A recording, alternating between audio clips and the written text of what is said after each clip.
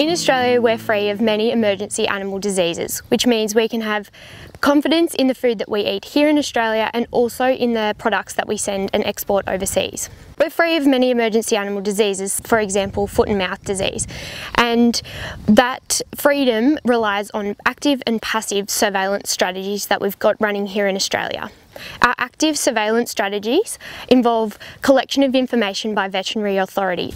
Then we've got passive surveillance, and that involves every single person that plays a role in livestock industries, making sure that they report any signs of animal diseases which might be of risk to Australia.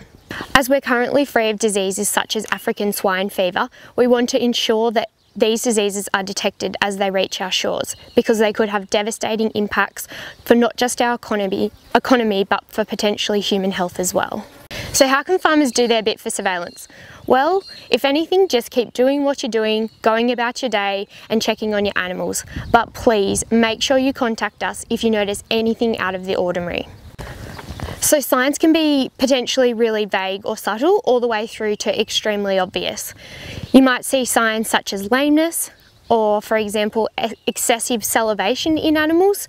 You might see nervous signs such as um, staring or changes in behaviour. You might see decreased reproductive rate at pregnancy testing or scanning. And also, but, but to be honest, anything out of the ordinary, if you're checking your animals regularly, you should probably check with your veterinarian or on the EAD hotline. The Emergency Animal Disease Watch hotline is like the triple zero for our livestock industries.